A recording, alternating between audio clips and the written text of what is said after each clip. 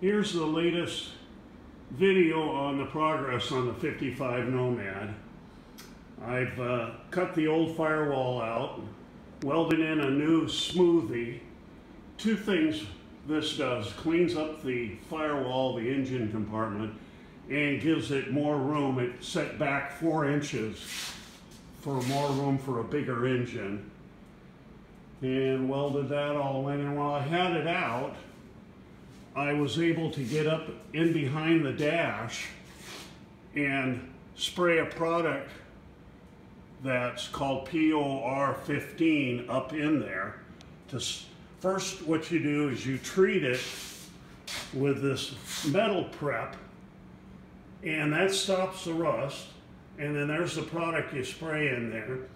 And go to Harbor Freight and bought these spray guns, electric paint spray gun for less than $20 and was able to spray way up in behind into this area here, which you can't get at, with a paintbrush and just sealed all that rust and killed the rust. It's like cancer. You got to cut the rust out or it'll continue. And the only other way to take care of it is to encapsulate it and seal it and stop it. This is a patch panels I had to put in above the uh, where the visors go. They were rusted there. There's my patch panel for the uh, for the roof.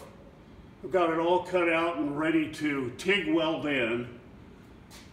Also installed new inner wheel wells on both sides and got that going.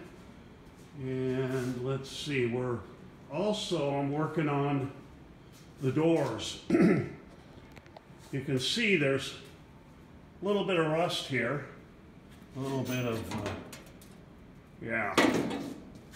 But they make patch panels, but nothing's plug and play. You have to cut it and fit it and make sure it all fits in there correctly. And then on the other side of the door, I've got some rust along the bottom. And what you do is you cut this out and TIG weld it, but in behind so you don't get a blowout, you put these behind your magnet and you put it behind your weld so that you won't get blowouts. I just bought a new TIG machine and I'm practicing. This is only using it for like 10 minutes. So, but that's what happens if you get too hot, it'll just blow out. So when using these copper backing, it won't, it'll help from blowing out and it works as a heat sink. Well, this is the MIG machine I was using. It works great for for welding, for spot welding and welding in the firewall, firewall. And then I got this one, it's from Harbor Freight and it's got what they call high frequency start, so you don't have to touch the probe to the metal and lift it.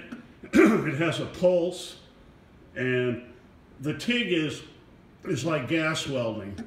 You have to go along and it creates the fire and then you have to feed in, you feed in the uh, uh, filler as you're going. Or a MIG machine, it has the electro, comes right out, that's the metal, and it just fills it in as you're welding. Wanted to show you one other thing. Let me flip this around. Working on a patch panel here. This is a kind of a tricky one because what I had to do, I had a reverse curve here. And so to do that, you just take it out and lay it on a on this carpet or rug, throw rug, and you pound it to, weigh, to get the form you want. And then you're able to get it up in there. And it doesn't fit too bad. I'll have to do a little working with it when I get it in question I have now is here in the wheel wells, there's this bump right here. And if you're putting a bigger tire on, it's like sticks down one inch.